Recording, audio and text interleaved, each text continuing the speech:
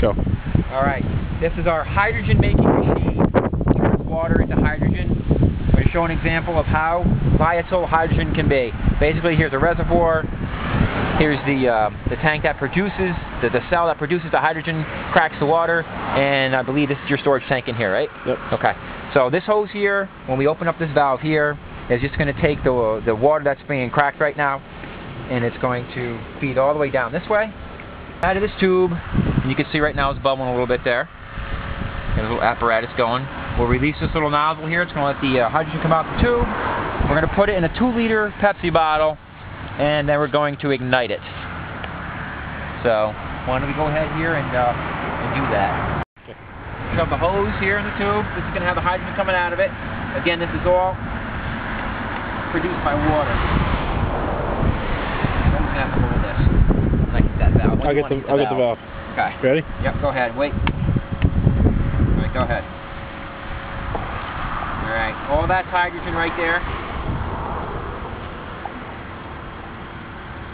Filling up the uh, the bottle here, and then we're just going to fill it up a little bit more. All right, it's full. All right, fast. Now we have to ignite it, so we're going to cut the film right now, and then we're going to have uh, another person give me a hand here, and we'll ignite this. Don't look like it. All right, get on this side, inside your car. All right. I'm going to hold it right here. Okay. All right. Then you do your thing. Say when. Ready? Ready. Go. Yeah. Get off the road. Look at him smile. He goes.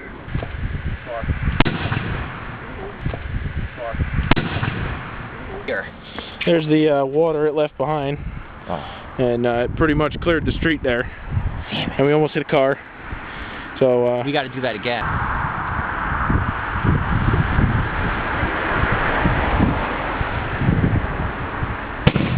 Wow!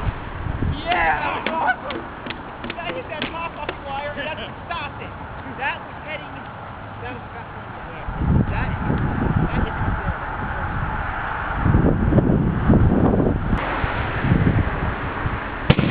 Wow! Yeah!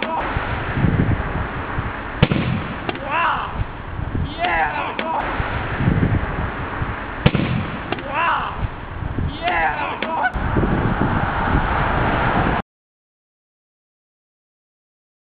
Got it? Record. Okay. That way. One, two, three, go. Yes, sirree! There it is! In the tree! Go.